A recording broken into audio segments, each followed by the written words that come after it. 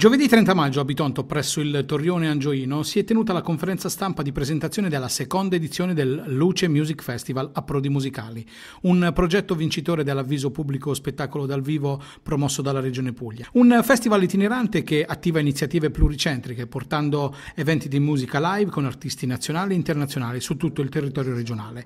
I nomi di questo progetto durante quest'anno saranno quelli di Cosimo Damiano D'Amato, Violante Placido, Carl Brave, Antonello Venditti, Sergio Camarieri, Corriere, Salmo, la Rimban Band e Dario Vergassola. Luce Music Festival è una, un festival che contamina poesia, teatro, musica, cinema, Uh, tutto quello che c'è di, di, bello, insomma, quello che Dostoevsky avrebbe detto, no? la bellezza ci salverà, eh beh, la bellezza è nell'arte, nella, nella, cultura e questi festival come questo qua aprono veramente le, più che le porte, i porti. Questo è un festival che apre i porti e guarda con le braccia aperte tutto quello che viene dal mare, è un festival che si rivolge al mare e dentro insomma, ci sono grandi artisti che cercano di raccontarci delle belle storie. È un, è un, festival che comunque ti vuole anche trasmettere qualcosa in più, c'è una coscienza civile, uno sguardo civile, ecco ad esempio c'è un contest per dare un'occasione ai giovani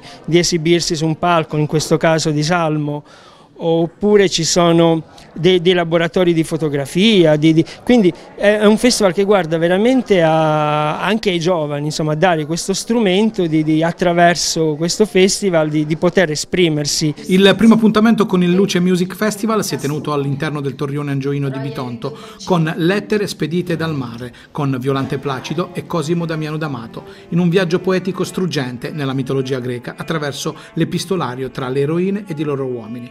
Nel recital, liberamente ispirato dall'opera di Ovidio, rivivono, partendo dal corpo e dalla voce, gli eroi leggendari della Grecia classica, Penelope ed Ulisse, Paride ed Elena, Saffo e Faone. Dei personaggi che ha fatto stasera, di cui ha recitato stasera, a quale si sente più vicino? Ma guarda, ci sono degli aspetti, ci sono... in ognuna c'è un aspetto di me, sicuramente perché poi l'amore è fatto di tante sfaccettature, non c'è solo un modo di viverlo anche in base all'incontro, no? vari incontri che si fanno nella vita, quindi c'è un po' di me un po' in tutte. Ma quale proprio più vicino vicino? Però ecco, finora non mi sono suicidata come Saffo, ecco. Beh scusa rispondo io, io la vedo più vicina alla sirena cantata da Tim Buckley. No, comunque grazie a Cosimo che insomma sono stata poi madrina d'eccezione, nel senso che abbiamo fatto questa apertura insieme. Eh, è stato bellissimo, emozionante e poi grazie a quello che lui è riuscito a costruire con quello che comunque per fortuna ci hanno lasciato in eredità questi insuperabili poeti e scrittori che ancora riescono a illuminarci, a farci emozionare, poi i sentimenti sono senza tempo.